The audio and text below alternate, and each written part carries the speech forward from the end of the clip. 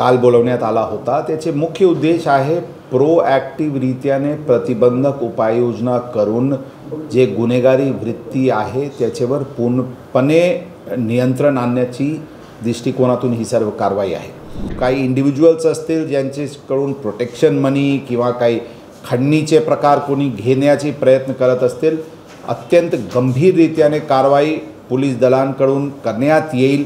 याची योग्य समज त्यांना देण्यात आलेली आहे. आमचे पोलीस अधिकारी कर्मचारी प्रत्यक्ष त्यांना फेस फेसनी ओळखू शकतील याचे पण ही मोहीमचे उद्देश होते. सुरू आहे. तर त्याच्या पाठीमागचा उद्देश काय आहे? आज काल दोनशे सदुसष्ट जे होते रेकॉर्डवरचे त्यांना बोलवलं होतं. आज किती लोकांना बोलवलं आहे उद्या किती लोकांना बोलवलं बोलवण्यात येणार आहे? आणि कोण असतील हे उद्याला बोलवण्यात येणार आहे? ते काल आणि आज बेसिकली जे क्रिमिनल्स ऑन रेकॉर्ड आहे काल गँगस्टर्स आणि बॉडी ऑफेंडर्स जे होते ऑन रेकॉर्ड त्यांना आज जे ड्रग्स पेड ड्रग पेडलर्स आणि एन डी पी एसचे ज्यांच्यावर गुन्हा दाखल आहे किंवा आर्म्स ॲक्टचे फायर आर्म्स तीन पच्चीस आर्म्स ॲक्टचे ज्यांच्याविरुद्ध गुन्हा दाखल झालेले आहे असे आरोपींना बोलवण्यात आलेले आहे.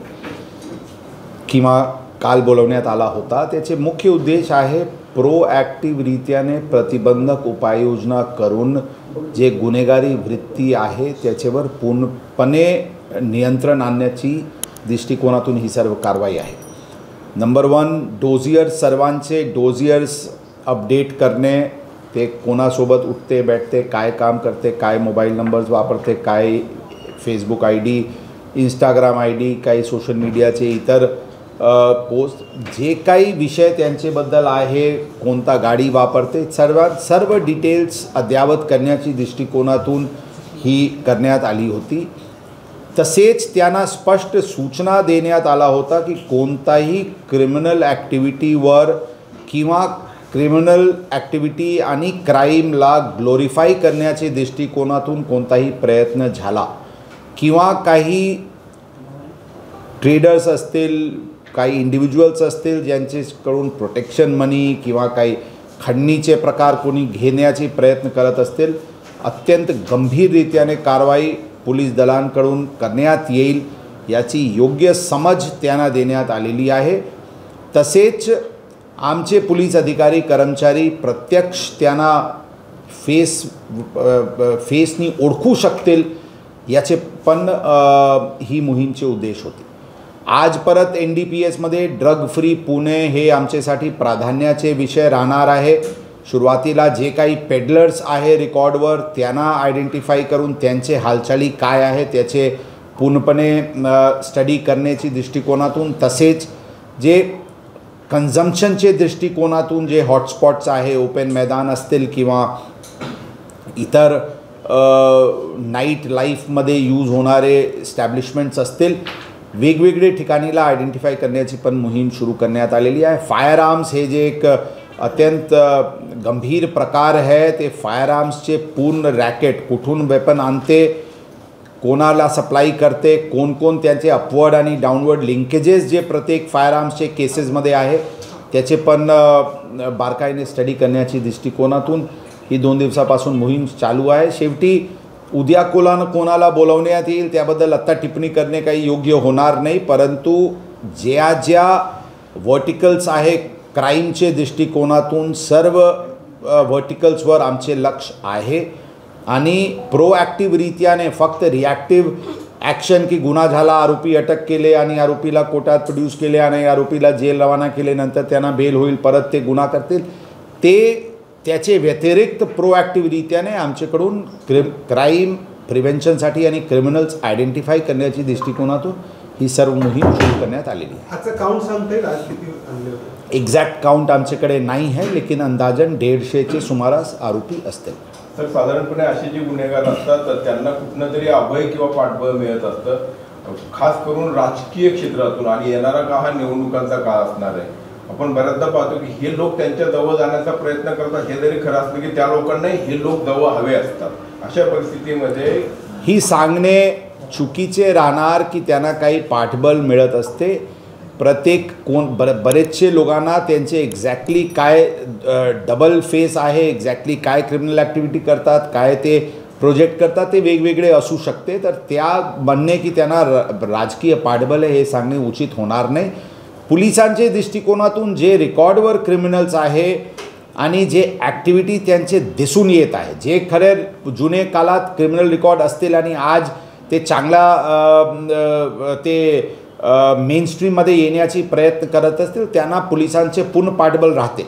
त्यामध्ये काही शंका नाही आहे परंतु कोणी क्रिमिनल ॲक्टिव्हिटी करत असतील तर नक्कीच पोलिसांची दणका त्यांना पोलीसपेक्षा कायद्याची दणका त्यांना राहणारच. सर सोशल मीडियावर रील स्टार्स काही बघायला मिळतात ज्यातून गुन्हेगारी प्रवृत्ती पाहायला मिळते दहशत पसरवण्याचा प्रयत्न केला जातो. या स्पेसिफिक विषयात काय नेमकी कारवाई केली जाणार ऑलरेडी मी सांगितले होते आमची आम्ही सोशल मीडियावर पेट्रोलिंग इंटेन्सिफाय केलेले आहे. Joint team cyber police station आणि क्राईम ब्रांचचे. तयार करण्यात आलेली आहे. जे काही अशा पुणे तीनशे दोन पुणे तीनशे सात किंवा इतर इतर टोलीचे नावावर जे जे साईट्स आहे त्याचेवर त्याचे त्यांना आयडेंटिफाय करून त्यांचे कोण त्याचे हँडलर्स आहे त्यांना जे कोणी क्राईम किंवा क्रिमिनल ॲक्टिव्हिटी ग्लोरीफाय करत असतील या माध्यमातून त्यांना आम्ही आयडेंटिफाय करून त्यांच्या विरुद्ध कारवाई करणार. आहे आपण आत्ताच पदभार म्हणजे अलीकडच्या काळामध्ये आठवडा झाला आपण पदभार स्वीकारलाय पुण्याच्या बाबतीत आपलं काय फर्स्ट इम्प्रेशन राहिलं? कारण इथं जर बॅकग्राऊंड बघितलं तर अगदी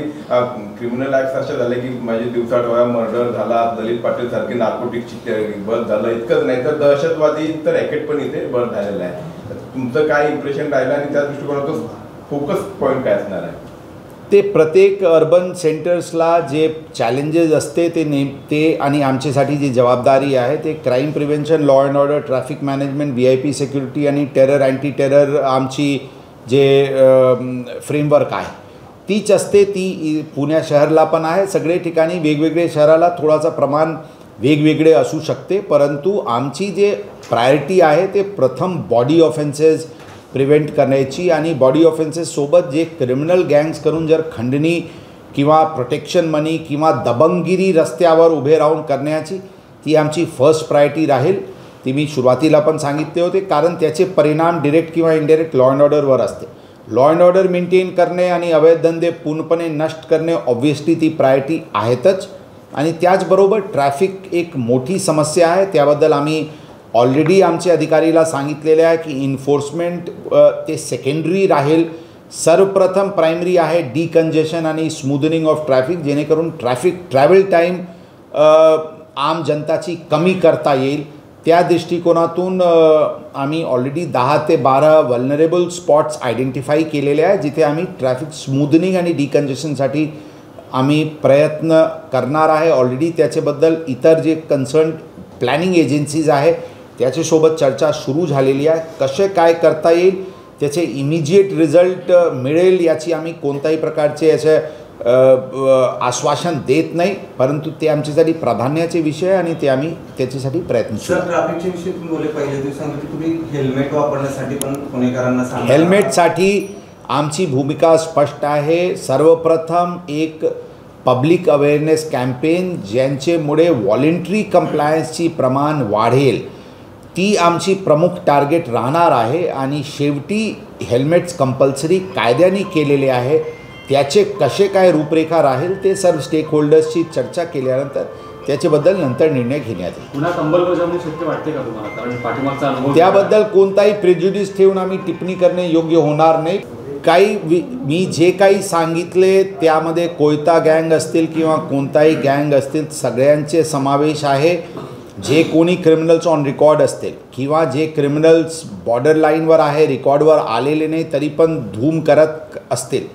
सगळ्यांचे विरुद्ध ही मोहीम सुरू करण्यात आलेली आहे. आम्ही ऑलरेडी सांगितले होते की आम्ही क्रिमिनल इंटेलिजन्स युनिटची स्थापना करत आहे जे क्राईम ब्रांचमध्ये वर्क करतील जे काय काय नवीन गँग्स आहे किंवा जे जे अशा प्रकारचे गँगस्टर्स किंवा क्रिमिनल्स ऑन रेकॉर्डसोबत फिरणे सुरू केलेले आहे आणि त्यांचे हालचाली आक्षेपार्ह आहे किंवा होण्याची शक्यता आहे त्या विषयावर पूर्णपणे आमचे लक्ष आहे. स्लम पुलिसिंगवर आमची भर आहे. चौकीजला ऑलरेडी आम्ही सूचना दिलेली आहे की संध्याकाळीचे वेळ वल्नरेबल वेळेवर त्या रस्त्यावर दिसायला पाहिजे आणि त्या भागात त्यांचे प्रेझेन्स त्यांचे मोबाईल नंबर्स वगैरे जनतापर्यंत पोहोचायला पाहिजे. जेणेकरून एक एक एक इंटरॅक्शन एक कम्युनिकेशन चॅनल आम जनताशी स्थापित करून अशा प्रकारचे गँगस्टर्सवर नियंत्रण किंवा त्या भागात इतर समस्याबद्दल चौकी आणि पोलीस स्टेशनला लक्षात येईल. सर ललित पाटील प्रकरणात काय अपडेट आहे? काल तुम्ही म्हणलं माहिती म्हणून सांगतो. त्यामध्ये विसरलो मी एक दोन दिवसात कळवतो आपल्याला. तर रेकॉर्डवरच्या गुन्हेगारांना किंवा आरोपींना पोलीस आयुक्तालयामध्ये अशा पद्धतीनं बोलवणं हे कदाचित मला वाटतं पहिल्यांदाच घडलं आहे एवढ्या मोठ्या संख्येने एकत्रित आणणे असं म्हणायचं का की ही आपली स्टाईल ऑफ वर्क आहे अशा पद्धतीनं?